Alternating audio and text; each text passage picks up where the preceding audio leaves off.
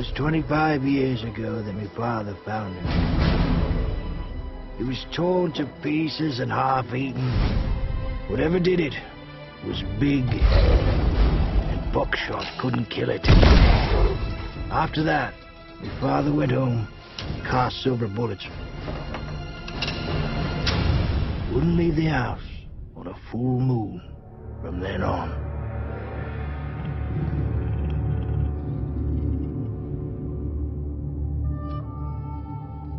Lo and behold, prodigal son returns. Hello, Father. You've come for the funeral. What happened?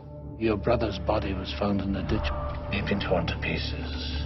If there's anything you need, please let me know. I want to know what happened to him. Francis Abberline, Scotland Yard. I cannot stress enough the mortal peril you're in. What kind of animal could have done such a thing? You're risking your life. Darkness comes for you. He's been quite seriously injured.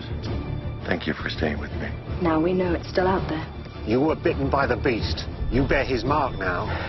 Do you believe in curses? you have to leave. What are you afraid of?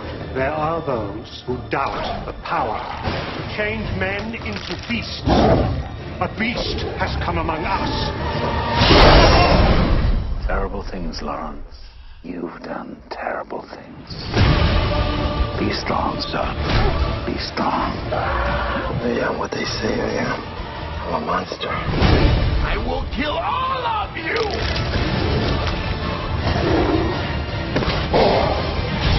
Let me help you.